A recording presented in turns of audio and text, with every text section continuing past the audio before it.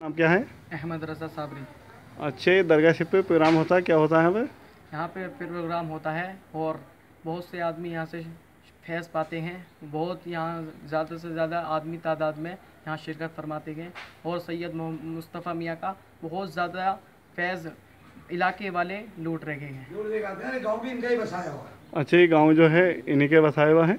जी हाँ जैसे हजूर साबिर पाक कलियरी रहमत अलैह ने कलिया शरीफ को बसाया है। वैसे ही इन्होंने सैयद मोहम्मद मुस्तफ़ा मियाँ ने इस गाँव को बसाया है। अच्छा लोग हर जमात को आते हैं यहाँ पे? जी जी हर जुमेरात को आते हैं और पीर के दिन भी आते हैं। और अक्सर ये तो रोज़ाना ही आते हैं आते ही रहते हैं। अच्छा प्रोग्राम क्या क्या होता है यहाँ पे? यहाँ पे मिलाद शरीफ भी होती है और सलात सलाम वगैरह जलसे भी होते हैं और कब्बालियाँ भी होती हैं।